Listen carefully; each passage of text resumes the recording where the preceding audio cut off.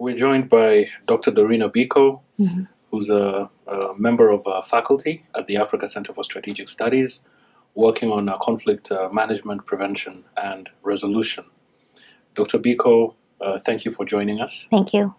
Now, uh, we're going to to discuss Burkina Faso. Um, you know, to go over you know just a few a few questions hmm about what's happening uh, in the country. Um, what is going on in uh, in Burkina Faso? Well, uh, it looks like there's been a uh, counter coup to the coup that took place in October. Uh, this was led by um, the Presidential Guard, uh, unlike the October coup, which was really sort of led from below, um, trying to oust Compaoré. And the Presidential Guard um, essentially uh, wants to sort of stop the progress uh, that's been going on.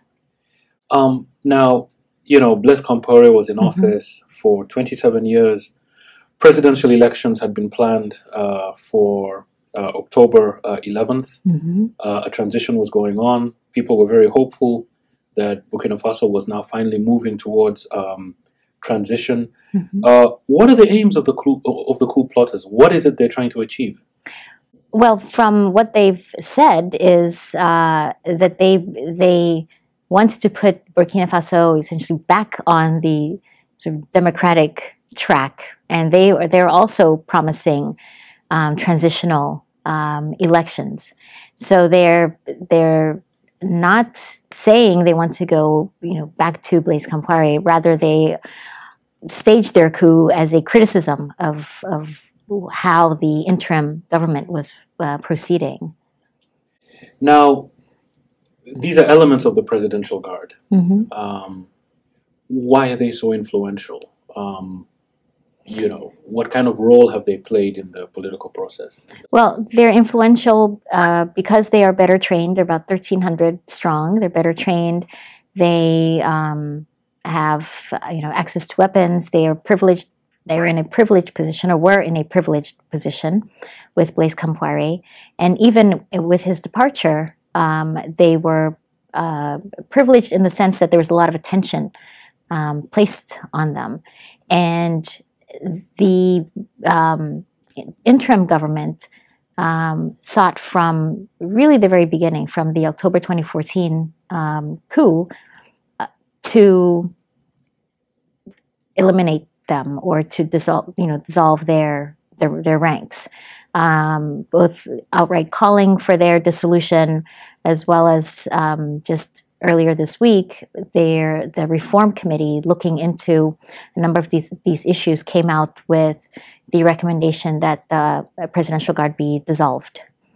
Um, so this was you can see this as a as existential question, you know, for the the um, the presidential guard. So, an existential um, issue for the presidential guard Mhm. sounds very serious.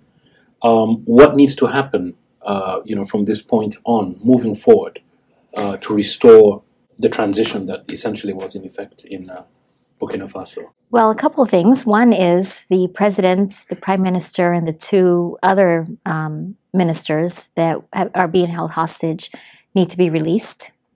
Um, so negotiations need to take place uh, on that end. It's clear from the opposition side that they are not going to tolerate the presidential guard in its current form. Um, but at the same time, we also see from the events in the last couple of days what the presidential guard is capable of. And so I think perhaps a another question going forward is how can a negotiation be structured such that the presidential guard doesn't play the role that it used to play, but doesn't pose this type of threat to the state. Uh, because at, at what we've seen now is that it is capable of posing that, that threat to the state.